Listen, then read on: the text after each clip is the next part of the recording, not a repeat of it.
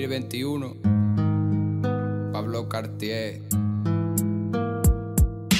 Un día más en la oficina, sigo trabajando mientras otros solo miran.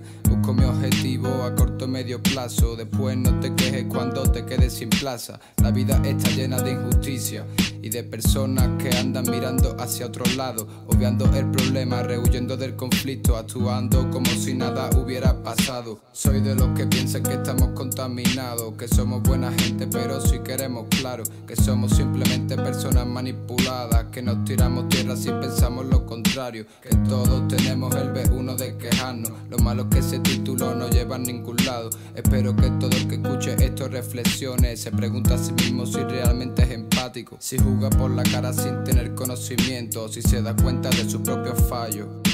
Pide perdón cuando sea necesario y di tu opinión ser excelente, no eres malo por pensar diferente. Te debe dar igual lo que piense toda la gente. Tener libertad no es ser un delincuente. Ten capacidad y escucha las críticas. Acepta tus errores y sin miedo rectifica. Si no te equivocaras, no serías de este planeta. Persigue tus sueños y alcanza tus metas. Sigue luchando, no estás solo, hermano.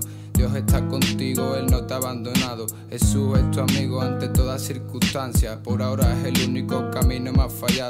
Me he visto solo con 25 amigos. A día de hoy tengo uno y me sobra. Es el mejor y siempre ha estado conmigo. Él me lo ha dado todo y no espera nada a cambio. Se llama Jesús y se encuentra en el sagrario. Ve a conocerlo, te recibirá encantado.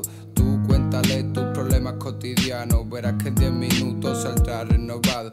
Tengo vergüenza de ir a la iglesia. Eso es de viejo y no está de moda. Se meterán conmigo si ve a contracorriente. Escúchame, chaval, sé tú mismo y pruébalo. Sí, lo sé, me estoy yendo del tema, pero es que el Señor me da todo lo que tengo. Él me ha sacado del más profundo barro. Cuando estaba perdido, Él me ha encontrado.